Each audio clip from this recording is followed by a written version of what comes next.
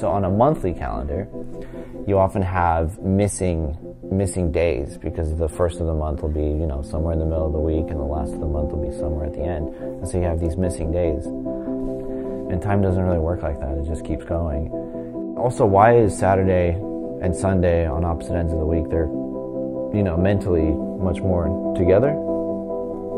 And so, what if the calendar was five days and then two weekend days, and then another five days, and then another two weekend days? That way, you have two weeks at a time.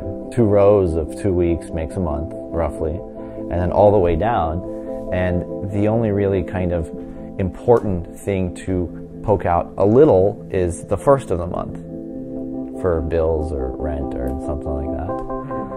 And so, really, what you get is the first day of the year is up here, and then it goes all the way down, and the very last day of the year is on the bottom.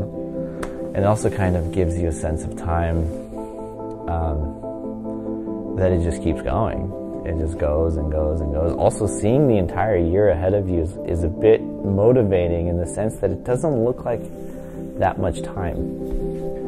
And so, as a result, you end up, um, you know, kind of like moving a bit.